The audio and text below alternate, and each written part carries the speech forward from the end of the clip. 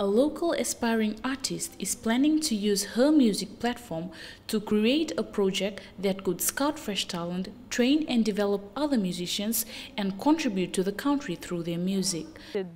Singers, um, talented people to come on board, and then we choose 10 aspiring artists then we take them through an eight-week developmental training where they learn songwriting, they learn all of these things, creating um, uh, lyrics and melody, and then going into studio and, and talking to the producer on, on, on music composition to their song recording their single and eventually doing their own music video and we launched that at the end of April. She is not new to the local music scene.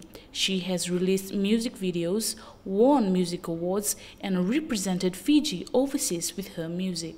Experience in PNG, the whole giant barrenness of people, there, there were some that were just, you know, there, there were, there were, it was an unfamiliar place, uh, it was an unfamiliar um, kind of uh, people that I met, and um, and and it's a it's a PNG is a country that's so rich uh, with resources, but then people there's more uh, murdering, there's more all sorts of uh, it's it's like the most dangerous place in the world. So I saw that came back, and then I, I I said to myself, we can be like that. We can be so rich in our in our country. We can have all these resources, but we are dry and barren inside of our hearts. There's no love, there's no unity, and there's no faith. This inspired her to start the RAIN project.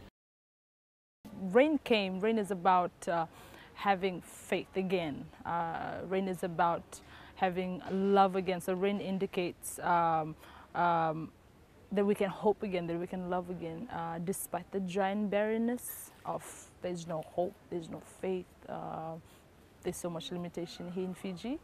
So rain is about But all is not glitz and glamour for the R&B pop princess. She faced challenges while making her music single Rain and making the project come to life. She has a day job and we also had to work with a video producer who also has his own day job. So we had to find the time. I think the challenge was to find the time, find the location, find the right costume, find the right look, find the right style. And I, I think it, it will continually be a challenge uh, for me. 14 years old RAIN project student is eager to learn more about music and is excited to perform at the launching of the RAIN project tonight.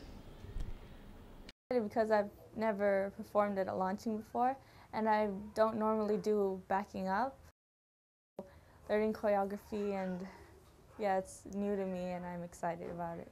Head of Sales and Marketing, Asinada Tamani, said a plan is documented to see how the whole project will turn out. Is uh, divided into phases. So this is the first phase uh, of, of the RAIN project, releasing the song uh, Rain and, and the music clip is, is, is phase one. We're launching, uh, creating that platform for phase two, which we, uh, which is the develop. There is a phase three, which uh, we will, will, well, it will uh, come as we process through phase two, but we already have uh, a clear idea of how phase three will turn out.